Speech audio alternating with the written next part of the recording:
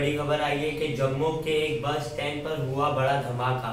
Grenade बम जिसे कहते हैं, उससे हुआ ये धमाका, इसमें कई लोग घायल हुए।